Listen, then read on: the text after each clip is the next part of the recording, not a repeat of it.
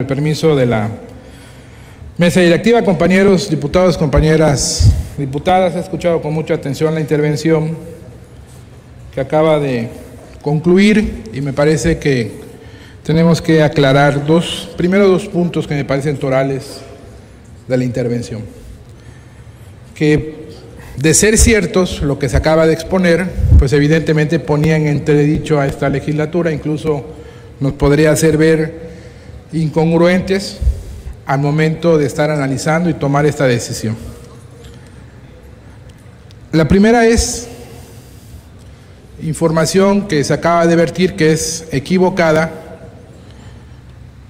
En octubre de 2016, este Congreso no solo no debatió los requisitos para ser fiscal, como aquí se acaba de afirmar, sino que tampoco se reformó los requisitos para ser fiscal, como también aquí se acaba de afirmar. Miren, el decreto 07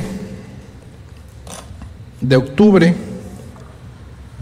lo que modificó, y aquí está el decreto, fue el procedimiento para elegir al fiscal en cuanto a que emanaba de aquel famoso paquete de impunidad, donde prácticamente le dejaba al Congreso, excluyendo al Ejecutivo, la intervención al momento de nombrar al fiscal. Fue el artículo 96, dice si el Ejecutivo no recibe la lista en el plazo señalado en el primer párrafo del presente inciso, enviará libremente a la legislatura del Estado una terna y designará provisionalmente al fiscal, ta, ta, ta, ta. Esto es lo que en ese tiempo se discutió y se modificó y también se estableció las causas de remoción del fiscal. Es el decreto 007 que este Congreso debatió.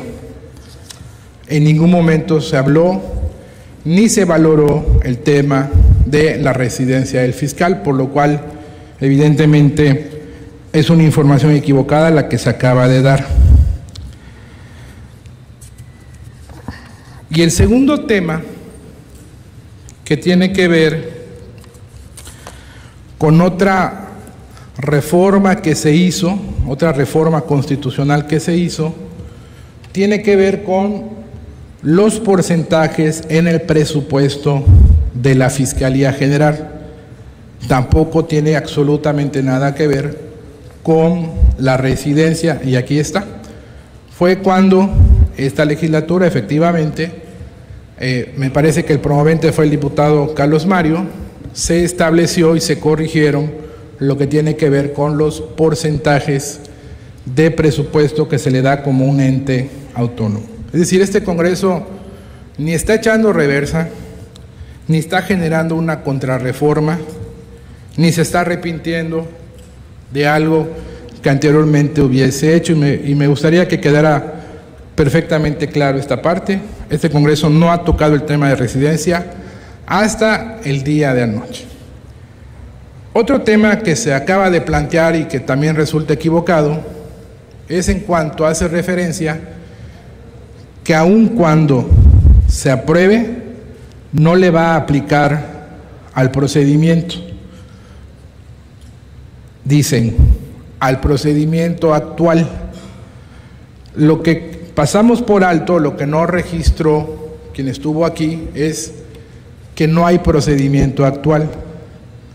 El procedimiento la convocatoria que se emitió con anterioridad en el momento que se presentó esta iniciativa por eh, propuesta del presidente de la mesa directiva, quedó sin valor, es decir, se canceló ese procedimiento. Una vez que aprobemos esto, que hagan lo propio la mayoría de los ayuntamientos por ser reforma constitucional y se publique, esta legislatura contará con 10 días hábiles, como lo señala el transitorio, para iniciar el procedimiento a fin de elegir un nuevo fiscal. Esas son las consideraciones eh, legales que se vinieron a plantear esta tribuna y que están equivocadas. Con respecto ya a las consideraciones personales que se hicieron valer porque me antecedió en el uso de la voz, pues son de respetarse ya que son consideraciones muy personales, son criterios personales que aquí respetamos evidentemente la libertad que tiene cada diputado y cada diputada para expresarlo. Fíjense, en el país son 18 estados que no exigen residencia de sus fiscales. Es decir, Quintana Roo ni es el primero, ni el segundo, ni el tercero. Sería el estado número 19. Y eso tiene que ver que hoy en día el combate a la delincuencia, a la inseguridad, lamentablemente, pues no es la persecución del que se robó una bicicleta. Es la persecución de bandas que roban, que asaltan, que extorsionan, que matan, que secuestran. Esa es la delincuencia que hoy en día se está combatiendo en todo el país. Eh, esta reforma no trae per se que este Congreso tenga que designar a un fiscal que no sea del Estado.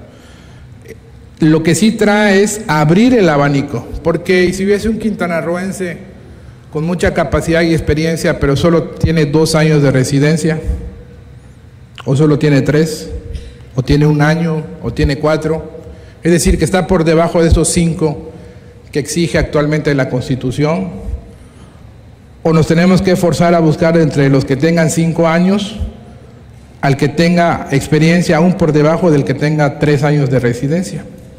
Pues no, yo creo que precisamente el abanico se tiene que abrir. Y este Congreso ha dado muestras fehacientes y concretas.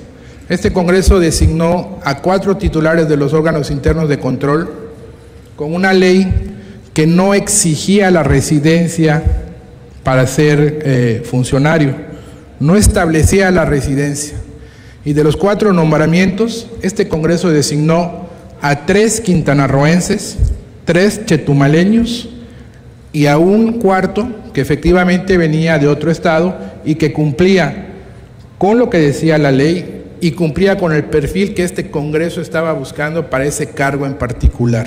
Es decir, siempre hemos preferido, siempre hemos preferido a los quintanarroenses y en particular del ejemplo que les acabo de citar, a tres chetumaleños. Y creo que tenemos que ser así, pero no nos podemos atar de manos. No podemos ni atarnos de manos como Congreso, ni podemos limitar a los ciudadanos que quieran participar y que hoy en día no tengan cinco años de residencia y tengan cuatro, tres, dos o uno. Y algo muy importante de esta reforma, ¿qué es lo que hacemos? La despartidizamos. El procedimiento para elegir al fiscal queda despartidizado. Ya no son más las fracciones parlamentarias, le hace cuotas de partidos, quienes van a proponer a los aspirantes a ser fiscal. Sacamos las manos los partidos, sacan las manos las fracciones parlamentarias y entonces se procesa una convocatoria o un procedimiento abierto a los ciudadanos. No hay mayor apertura que eso, porque aun cuando eran los partidos quienes proponían a través de sus fracciones, se les limitaba el número. Y entonces iba más en el perfil de qué eh, simpatías tuviera una fracción parlamentaria para traer aquí los nombres de los cuales podría salir el fiscal.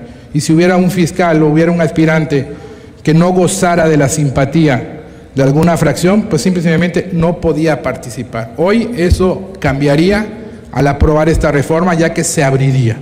Yo esos son los eh, temas que me parecen importantes en este Congreso que damos la cara a lo que estamos haciendo.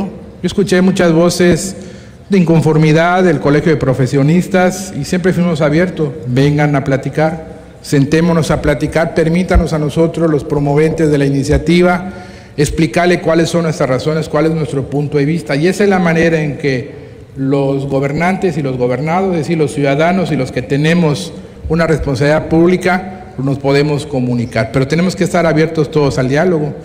También eh, se debe venir y escuchar y contrastar las ideas y las propuestas y en este caso las iniciativas. Concluyo.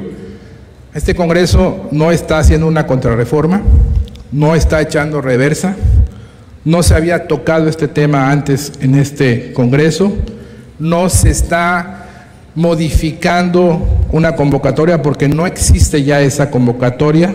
Desde eh, la semana pasada que se presentó ese